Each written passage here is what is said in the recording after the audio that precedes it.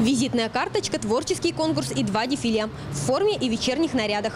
За титул «Красавица в погонах-2012» боролись семь самых ярких сотрудниц краевой полиции. Девушки еще раз доказали – красота – великая сила, которая спасет мир.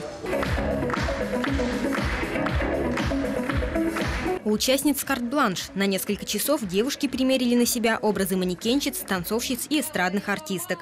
Подготовка выступлений заняла несколько месяцев, рассказывают конкурсантки. Очень волнительно. Мне нравится, что я участвую здесь.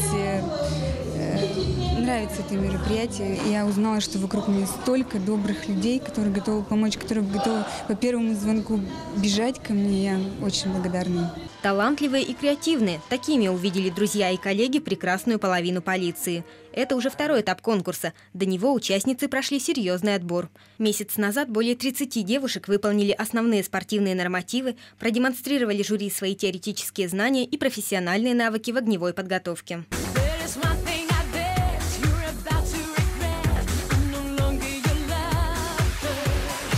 Конкурс красоты полицейских проводится в Прикамье уже в девятый раз. По замыслу организаторов мероприятие должно повысить престиж профессии и привлечь новые кадры.